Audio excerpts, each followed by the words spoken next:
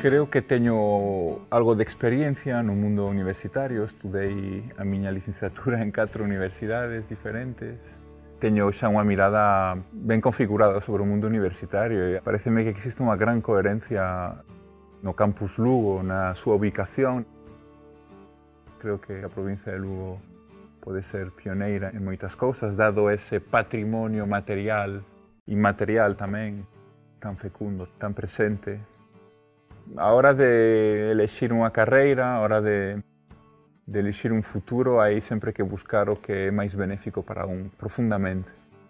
Non hai que deixarse levar un pouco por eses medos que moitas veces teñen os nosos pais, os mestres.